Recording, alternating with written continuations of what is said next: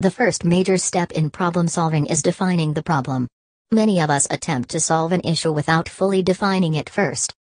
Without properly defining the problem, fixes could be superficial and not address the underlying root cause and thus the problem can reoccur.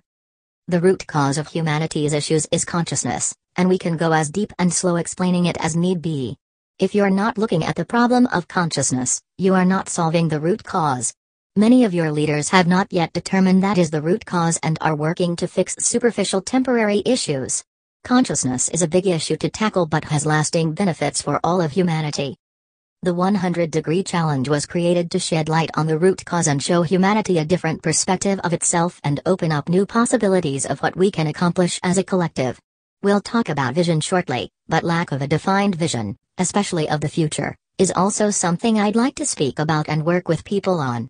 Let's define the world we want to live in.